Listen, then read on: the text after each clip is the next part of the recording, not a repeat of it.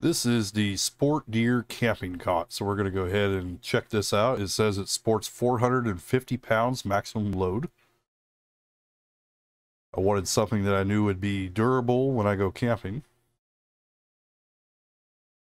And it's easy setup. Does come with a little instruction manual. Says to stretch it out and then pretty much pop down the center until it snaps on both sides. We'll just press it down. It's got little flaps here for storage.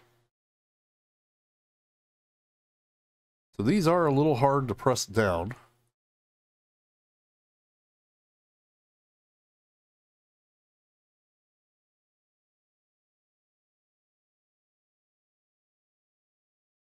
Need to go ahead and apply a little more pressure to it.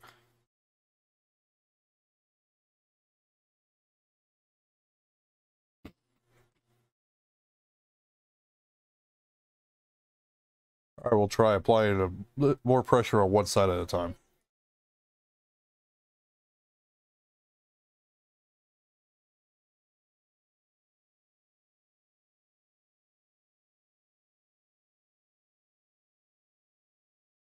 It feels pretty durable, feels pretty solid.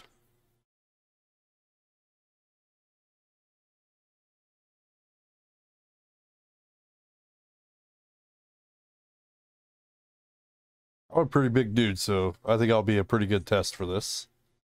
I'm also just about six feet tall.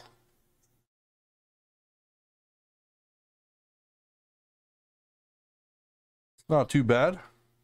Plenty of room for somebody who's tall. It definitely will hold my weight, so it will hold most.